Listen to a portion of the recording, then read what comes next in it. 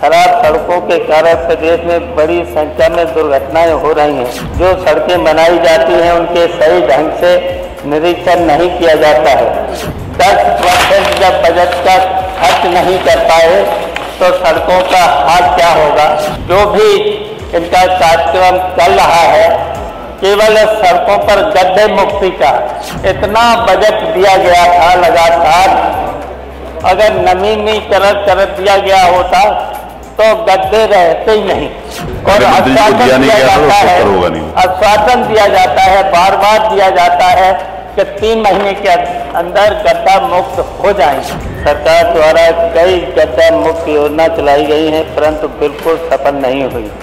बनाई गई सड़कों का लोक निर्माण विभाग द्वारा खाना पूरी की जाती है परंतु यह फिर एक माह में गड्ढा हो जाता है, कई जगहों का तो यह हाल है कि वहाँ सड़क कम गड्ढे ज़्यादा हैं।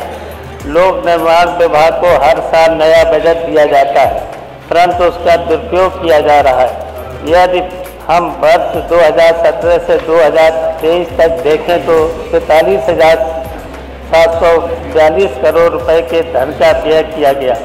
परंतु सड़कें आज भी चलने लायक नहीं हैं। व आए दिन खराब सड़कों के कारण प्रदेश में बड़ी संख्या में दुर्घटनाएँ हो रही हैं? सड़कों में मरम्मत के नाम पर अधिकारी व ठेकेदारों को मिली भगत से हज़ारों करोड़ रुपए का घोटाला किया गया है।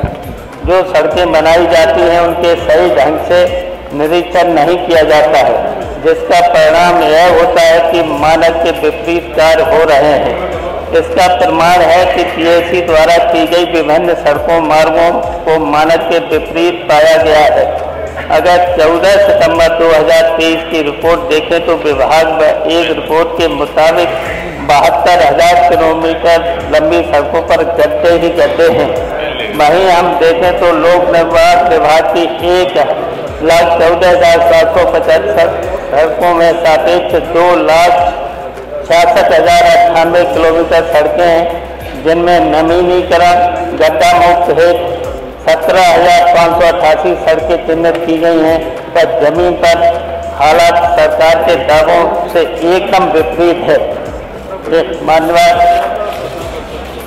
स्टेट हाईवे की बारह हज़ार किलोमीटर सड़कें, अन्य जिला मार्ग पर पचास हज़ार किलोमीटर सड़कें, मुख्य जिला मार्ग लगभग छः हज़ार किलोमीटर।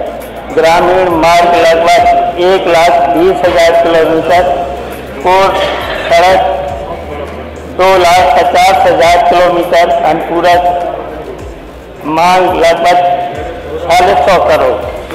मान्यवर अभी तक बजट में बजट इतना मांग लिया गया है, लेकिन अभी तक बजट का 10 परसेंट बजट खर्च नहीं हुआ है। 10 परसेंट जब बजट का खर्च नहीं कर पाए तो सड़कों का हाल क्या होगा?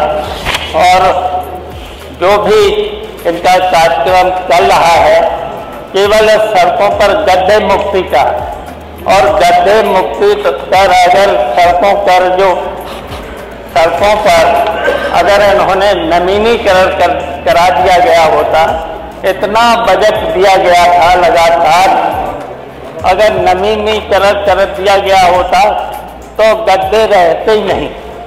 और जब नवीनीकरण नहीं किया जाता है आपके पास? और इस सरकार में योजना चल रही है कि गड्ढा मुक्ति। और यहाँ तक कि गड्ढा आ जाएगी से क्योंकि वो और दिया आश्वासन दिया तो जाता है नहीं। आश्वासन दिया जाता है बार बार दिया जाता है कि तीन महीने के अंदर गड्ढा मुक्त हो जाएँगे। और नवीनीकरण अगर शुद्धिकरण अगर करा दिया जाए सड़कों का इतना बजट दिया गया है लगातार इतना बजट दिया गया है लेकिन नवीनीकरण सड़कों पर नहीं होता है। केवल उनकी योजना चलती है हो गया हो गया तो आप आप आप आपकी जो पूरा हो गया। जितना बजट गड्ढों के नाम पर गड्ढों के नाम पर जितना